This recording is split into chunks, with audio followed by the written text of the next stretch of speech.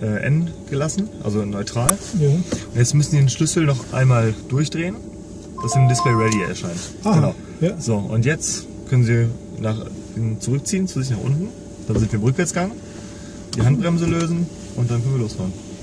Wenn wir jetzt zwischen äh, jetzt den Hebel nach vorne und nach hinten ziehen, einmal kurz ähm, antippen, dann können Sie auch zwischen verschiedenen Fahrmodi ähm, hin und her schalten. Also wir unterscheiden zwischen Eco, Komfort und Sport.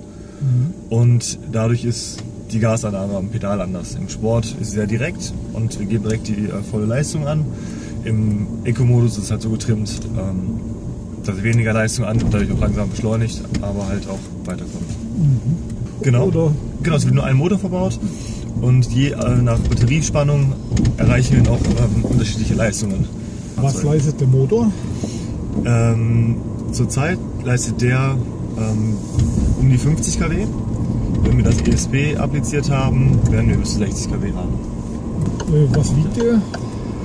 Der wiegt, lass mich nicht- lügen, ich habe einen kleinen Infozettel dabei.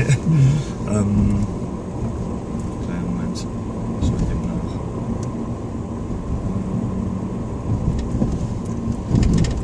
So, was ist denn?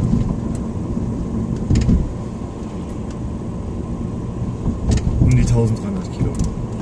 Äh, was können Sie zur Haltbarkeit oder zum Lebenszeitzyklus dieser Batterie sagen? Ähm, angegeben sind 80.000 Kilometer. Und die sind 80.000 Kilometer. Genau. Ähm, das können ja so vier bis acht Jahre sein.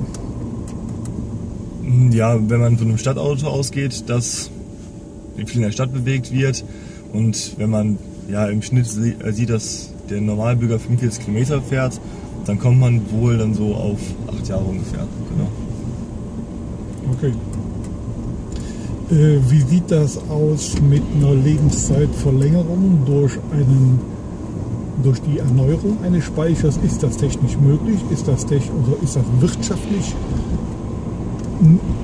eine, eine, eine Sache, die denkbar ist oder hat man quasi nach acht Jahren einen Totalschaden? Ähm, nein, kein Totalschaden. Also geplant ist es so, dass die Batterien dann, dass man die äh, relativ kostengünstig tauschen kann und dass die alten Batterien aus den Fahrzeugen dann ähm, zum Speichern von erneuerbaren Energien benutzt werden. Zum Beispiel von Solaranlagen ähm, oder ähnlichem. Und dass dann im Gegenzug dafür eine neue eingebaut wird, natürlich gegen den Aufpreis. Ja, ja.